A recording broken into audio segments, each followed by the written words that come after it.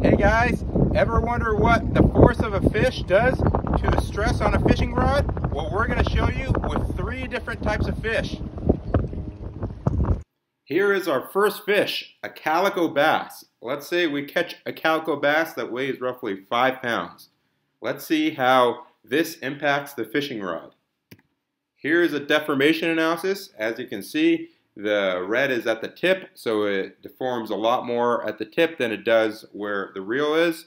Now, what does this five pounds of force do to the fishing rod and how much does it bend?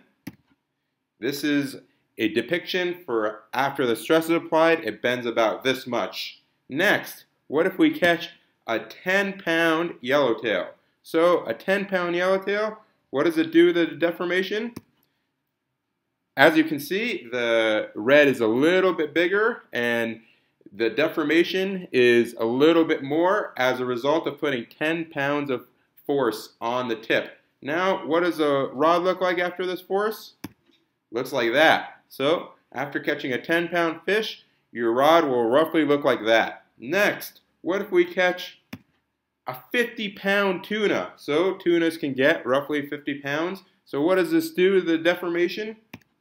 Here it is. As you can see, the red is a little bit bigger as well, but the deformation is significantly more. Now, here's what the fishing rod looks like after catching a 50 pound tuna.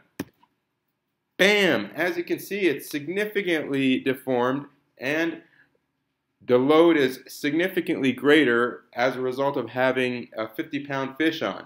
So, if you enjoy this video and Want to learn more about our engineering services? Uh, please contact us at sales at gembaautomation.com. We do 3D modeling and design in addition to 2D drafting. Look forward to working with you guys. Thank you.